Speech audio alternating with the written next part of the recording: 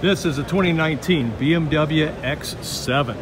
It's available in two different trim levels, the uh, xDrive 4.0i and the xDrive 5.0i. Starting at 73,900 up to 96,000, or excuse me, 92,600 MSRP.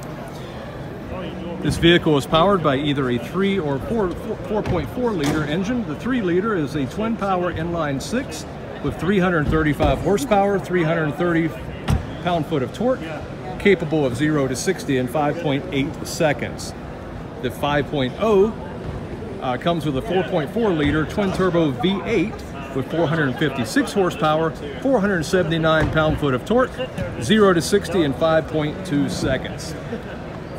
Each trim level is uh, propelled with an 8-speed automatic transmission, capable of towing up to 7,500 pounds, with a cargo capacity inside of 48.6 up to 90.4 cubic feet.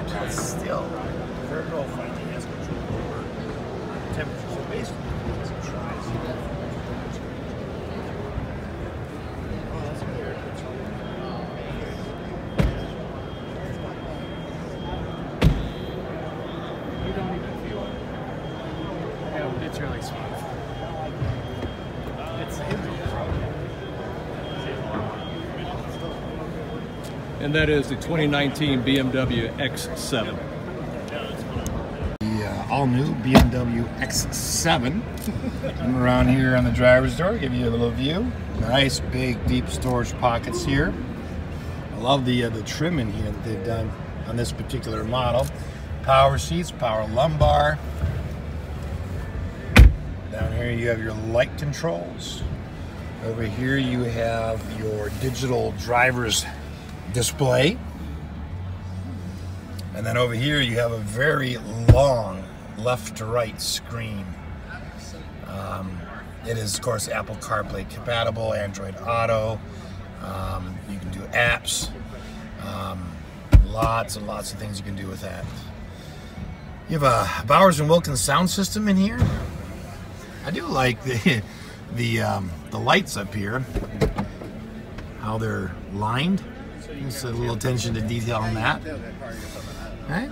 And you got your, of course, your climate control system and stuff will be up here, but then down here you also have physical buttons for that. And then for your stereo down here, um, you notice this little red lighting. It comes underneath here. This interior lighting. Um, that is that's really neat. Uh, down here on your shifter, you've got glass right in here, a glass insert here, glass on top of here. Um, and then, of course, a whole assortment of buttons and dials down here. Down here, let's see if I can open this. There we go. So it just takes a, just take, oops.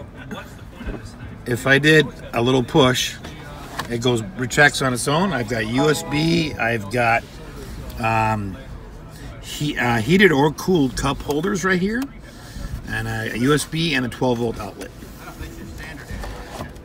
Down over here, uh, here's the steering wheel here. I'll back up a little bit and give you a view of that. This is kind of cool here. And then down here, below the light switch, I almost forgot to mention, you have another little driver storage area, but it's kind of nice because it actually closes.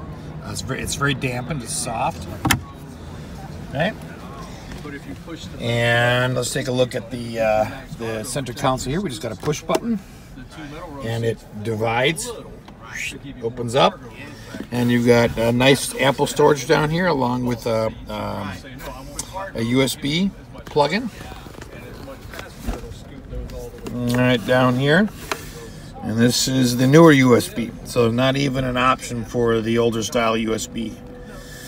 Right, and close that up. And there's the uh, passenger's door there. All right, looking at from the back of the BMW X7, I, I really like the uh, the lit, LED lit line right here. You've got your uh, heated. Uh, let's see. You've got well, you've got a lot of buttons up here. This is the window shade button right here, and this is to put the shade down. Okay, and power captain's chairs. Now there is a unique thing. Some have a like power recline, but this is a full powered seat. Right here, this, you can get the bench seat in this, and then it seats seven. But um, that, that's how much room you're talking. That's about a foot between the, the seats. You've got, in this particular model, we have the dual screens in the back for entertainment. And if I step in a minute,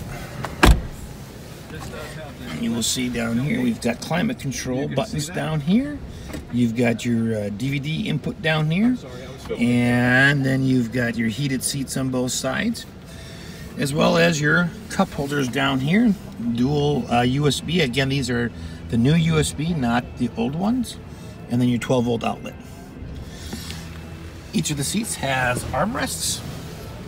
Um, this side, of course, uses the, the driver's door, but then this side here has one that comes right up. And then it ratchets and holds in place. And if you want to put it down, you just pull up a little bit and then go down. You can kind of hear it ratcheting there. Okay. Um, third row seats. So these are the buttons to fold the seats down. Uh, they won't work right now because it's not hooked up to power. But we'll just kind of take a peek in here and there's the rear seat. Got some nice trim work down here. And there's this other seat folded down. Of course, you can fold down the uh, this side of the seat, and we'll show you that right in the back. Okay, so in back here, you've got the uh, six buttons to fold your, your third row automatically. Still carrying through the LED lighting. And then in the third row, you have your own climate control system. So, climate control system in the front for driver and passenger, dual zone.